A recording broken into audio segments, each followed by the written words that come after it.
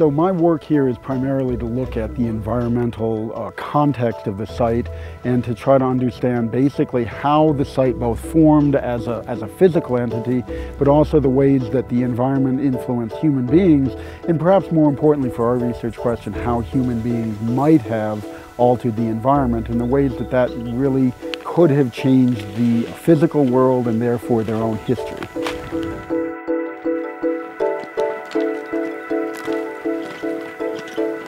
And this tells us about the alternating periods of flooding, the energy involved. So um, when you get large class like this, what happens is, is that that's telling us that there was a much larger flood event, that it was carrying more energy.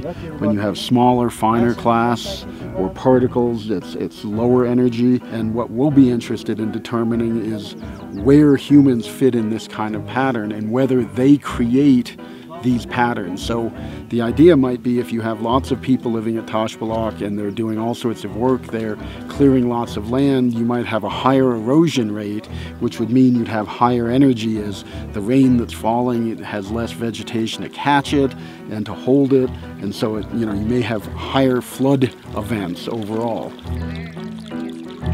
what archaeology is is this kind of multi-dimensional jigsaw puzzle and I've always loved it for this because the puzzle's laid out for us. We're now trying to assemble the little bits and pieces and and we're doing so in, in multiple ways. One is literally vertically that is how the site sort of stacks up together horizontally across space but also intellectually. How does this intellectual piece fit with that one in five minutes we could dig this much deeper and suddenly the entire puzzle changes. It's totally cool because it's always rearranging and dissolving. We'll never know every answer, but boy, we can get some really cool questions that evolve and keep moving together and putting that puzzle together is just a great intellectual challenge.